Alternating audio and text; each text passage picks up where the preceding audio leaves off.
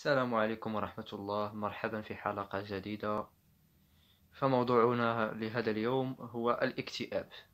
غنحاولوا إن شاء الله هذا النهار غنطرقوا الموضوع ديال الاكتئاب. شنو هما الأسباب ديال الاكتئاب؟ من كيجينا الاكتئاب؟ شنو هي الفئات الأكثر عرضة للاكتئاب؟ فخليكم معنا باش نشوفوا.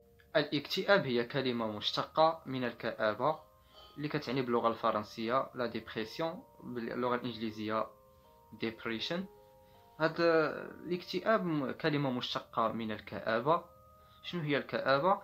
الكآبة هي واحد الإنسان عايش مع ما به عايش الحياة بالفرح ديالها. ناشط ضاحك حتى تسلط عليه واحد الظلام دامس. ولا ما كيعرف الحياة الحياة الحلاوة ديالها كي دايرة. تجيب له شي حاجة تتفرح ما, ما تيكون عنده غرض يعني هذا الإنسان فقد فقد ديك الحلاوة ديال الحياة. هذا هو الاكتئاب. الاكتئاب تقيس ما يقارب 300 مليون شخص حول العالم. فالاكتئاب مرض ماشي سهل. الاكتئاب ماشي ضعف شخصية فالاكتئاب الإخوان ما خصناش نحقروه. فالاكتئاب شيء كبير وخطير جدا. فمنظمة الصحة صنفت الاكتئاب بالأمراض العضوية الخطيرة كشرايين الدم والسكري وضغط الدم والعديد من الأمراض الخطيرة.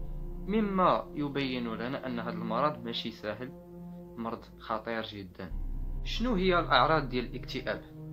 الاكتئاب عنده بزاف ديال الأعراض ولكن الأغلبية اللي عندهم اكتئاب كتظهر عندهم كالتالي كيكون نقصان في الوزن آه، ضغوط نفسية آه، ألم في الرأس بعض الأحيان نقصان في الوزن عدم الاهتمام بالنظافة الشخصية كيولي الانسان ما عندوش غرض في الحياة ديالو كيعيش بحال اليوم بحال غدا بحال غد ليه ما ما. ما كتعجبوش هاد الحياة ما عنده فيها غرض تيولي داك الشخص كيفكر في الانتحار في المراحل. الأخيرة ديال الاكتئاب تيولي تيفكر في الانتحار باش يتخلص من هاد الحياة فالاكتئاب شيء خطير جدا فعلاش الشباب ديالنا وكاع الناس اللي كيتصابوا من الاكتئاب كيعانيو من هاد الأعراض هذه شنو هو السبب؟ فبعض الدراسات كتقول بلي الاكتئاب هو بعض المشاكل اللي كتطرا في الهرمونات. يعني من كيتبدلوا الهرمونات ديال داك الشخص كيبدا تغير الحالة الكيميائية ديال الدماغ.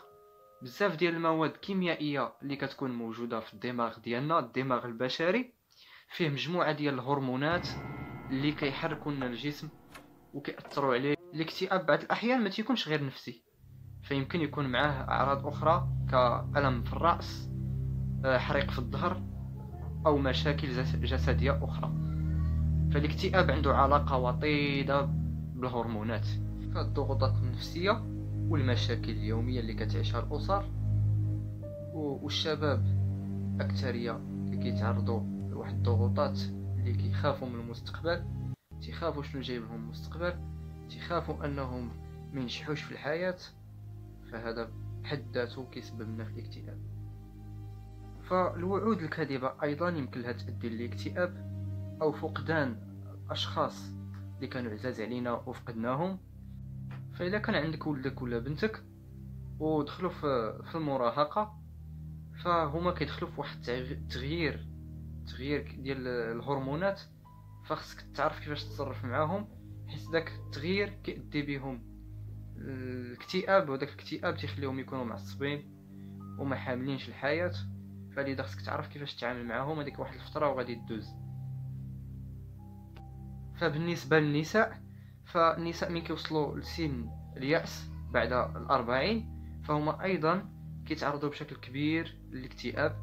وهذا راجع لتغير الهرمونات.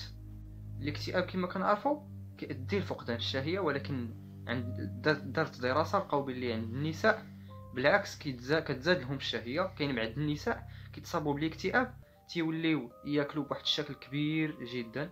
ممكن أيضا الاكتئاب يجي من معاقبة النفس أو معاقبة الذات حيث أن الشخص كيبقى يعاقب راسو قبل ما يمشي ينعس تيبقى يقول علاش أنا ما نكونش هكا؟ علاش ما نكونش هكا؟ علاش ما درتش هادي؟ أنا فاشل أنا فاعل. فهاد التكرار الدائم ديال معاقبة النفس كيؤدي للاكتئاب فكيفاش نقدروا نتغلبوا على الاكتئاب؟ كتبقى أحسن طريقة للتغلب على الاكتئاب هي ما نخليوش الفراغ ونعمروا الوقت ديالنا بالحاجة اللي مزيانة قراءة كتب مشاهدة أفلام هادفة أو آه، ممارسة الرياضة حيث تعد ممارسة الرياضة. من أهم الأشياء اللي كتحيد لنا الاكتئاب فالجري أو السباحة أو لعب كرة القدم كتلعب واحد الدور كبير باش تحيد لنا الاكتئاب. فنحاولوا نمارسوا الرياضة. الرياضة مهمة الاهتمام بالنفس أو شكر الذات. فهذا بحد ذاته كيعاوننا باش نتخلصوا من الاكتئاب.